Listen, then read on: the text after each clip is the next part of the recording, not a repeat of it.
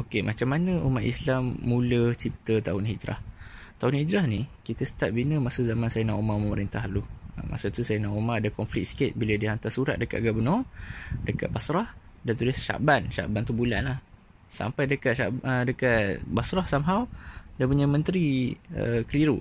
Ini Syaban tahun ni ke tahun lepas? Kan? Jadi sebabkan tak mau konflik ni berulang, Sayyidina Umar kumpulkan para sahabat untuk mencipta satu sistem tahun. Yang mana sebelum ni kita tak ada sistem tahun tu selama ni kita bagi nama pada tahun tu. Contohnya oh tahun gajah. Oh tahun kesedihan. Kita ada nama. Tapi sekarang dia nak gunakan nombor dalam tahun tu. Jadi bilakah start tahun yang sesuai dalam Islam? Masa tu para sahabat bincang lah. Ada yang kata oh kita ikut tahun kewafatan. Uh, Rasulullah. Ada yang kata oh kita ikut tahun kebangkitan Rasulullah. Tapi macam mana pun takdirnya ialah kita menggunakan tahun hijrah maksudnya tahun tu tahun pertama hijrah adalah satu tahun Ya, kemudian tahun kedua dua tahun. Kedua tahun kedua hijrah, tahun ketiga hijrah. Macam itulah.